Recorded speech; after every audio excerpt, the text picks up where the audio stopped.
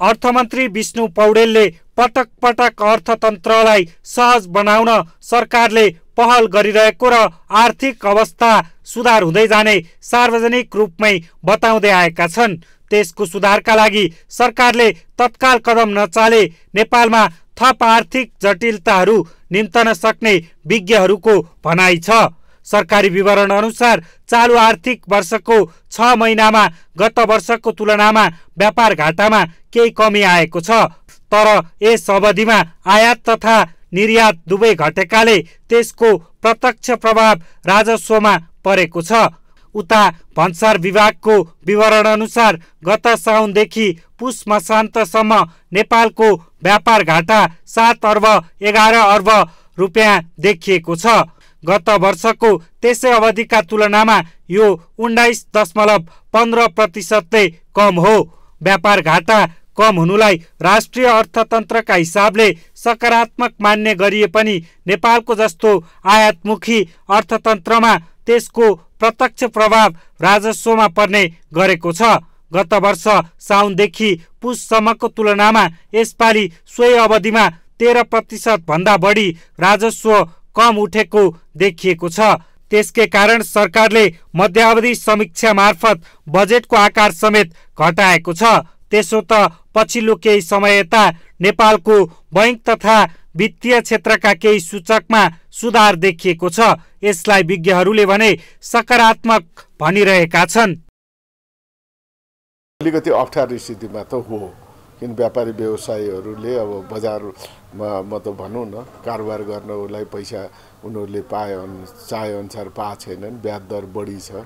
अब बजारमा ब्याङ्क वित्तीय संस्थामा अहिले त निक्षेप राम्रै जम्मा भइरहेछ तर व्यापारी व्यवसायीहरूले मात्रै नलिएको हो।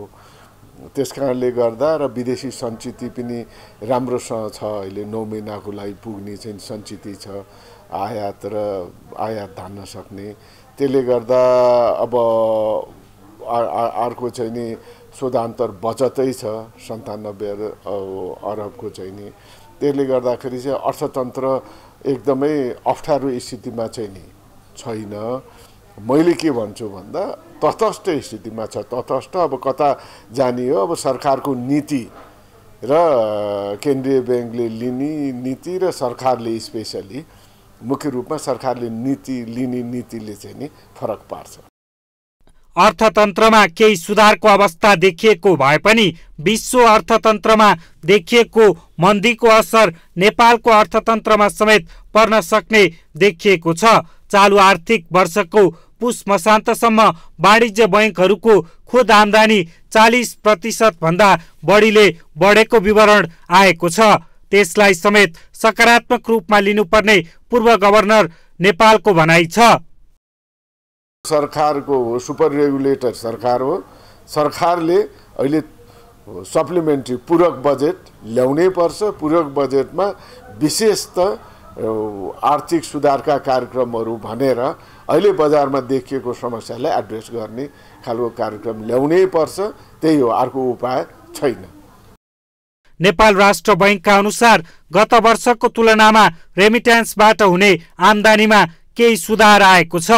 गत साउनदेखि मङ्सिरसम्मको विवरण हेर्दा गत वर्षको सोही अवधिको तुलनामा विप्रेषण आप्रवाह तेइस प्रतिशतले बढेको राष्ट्र बैङ्कको विवरणले देखाउँछ।